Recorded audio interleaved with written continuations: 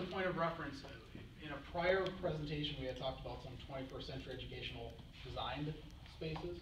There were some STEM-focused images in there, so if you do wanna reference those as you're talking as a group, we had some STEM Commons photos in there, and so you can certainly do that, okay? So, what we'll do is we'll hand out these to the tables, and we'll ask you guys as a group just to talk about them. Please document your thoughts on those, we'll take those with us at the end of the day.